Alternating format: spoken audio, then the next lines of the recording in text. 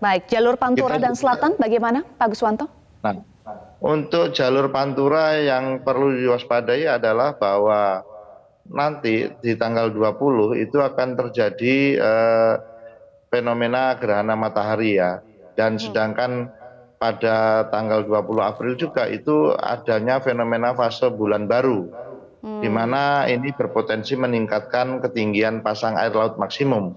Hmm. Ya, kalau kita lihat Eh, berdasarkan prediksi pasang surut banjir pesisir rob ini bisa terjadi di wilayah misalkan pesisir Jawa Tengah, pesisir Jawa Barat, pesisir Jawa Timur.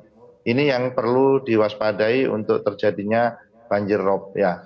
Ini dan uh, ketinggiannya sesuai dengan uh, dampak yang disebabkan oleh uh, gerhana matahari maupun fase bulan baru yang dari dua ini akan terjadi fenomena dua hal ini. Kira-kira itu.